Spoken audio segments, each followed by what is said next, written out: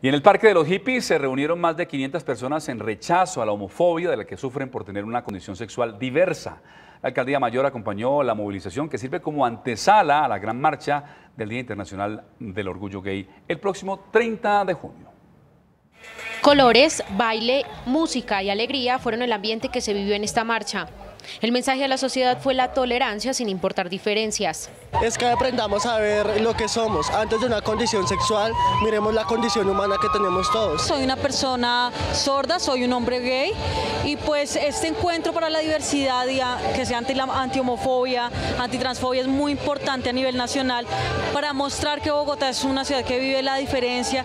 Esta movilización se llevó a cabo en la ciudad desde hace más de 10 años. Desde la diferencia construimos amor, compresión y sobre todo construimos un mundo lleno de diversidad, de colores y de amor por todos lados. Estamos preocupados por la cantidad de transfeminicidios, por la situación del país y exigimos una política pública nacional. Ese es el llamado, el llamado a la juntanza como colombianos. Para las próximas marchas se espera que participen más de mil personas, quienes siguen pidiendo respeto por su diferencia y visibilidad. Este año las dos marchas tendrán bajo el lema eh, de la celebración del Stonewall las movilizaciones. El 24 de junio nos movilizaremos en el sur de la ciudad, eh, partiendo de Plaza de las Américas por toda la Boyacá hasta el centro comercial Ciudad Tunal y el 30 de junio desde el Parque Nacional hasta la Plaza de Bolívar.